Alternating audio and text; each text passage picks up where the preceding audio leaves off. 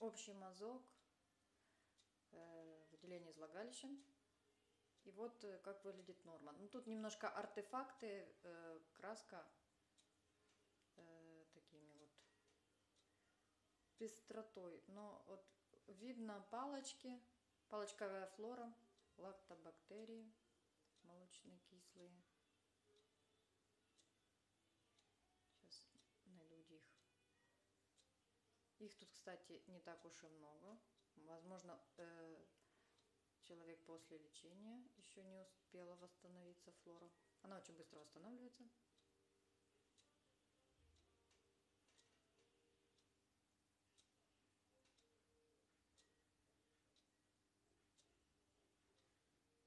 Лейкоцитов тут нету, то есть все в порядке. То есть вот как выглядит норма.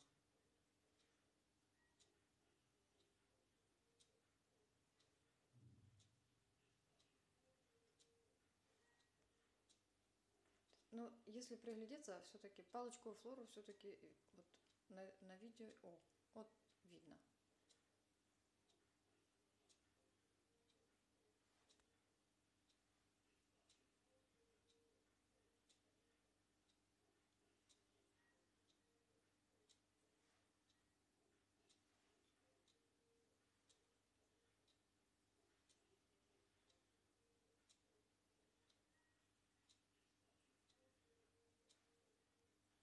Ну, а это уже просто для сравнения, э, уже не норма. Тут, конечно, не прямо о, ах и ужас.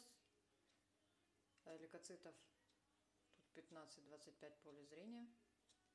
Палочкой флора видно, что тут достаточно.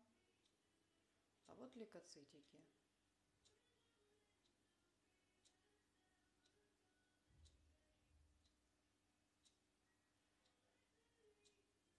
Вот они тут немножко, э, конечно, менее напоминают э, свои привычные формы, как э, в, крови, в крови.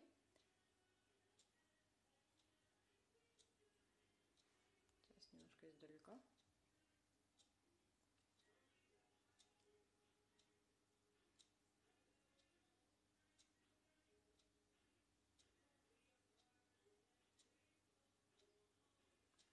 Есть я считаю, что общий мазок все-таки, конечно, должен смотреть гинеколог, а не лаборант. Ну, единственное, что лаборант, конечно, может покрасить, а вот осмотреть все-таки должен это гинеколог, чтобы, так сказать, увидеть собственными глазами. Микрофлору э, выучить ничего сложного нету, ее так, не, не так уж и много встречается у людей. Вот, микробиологию в институте все учили проходили.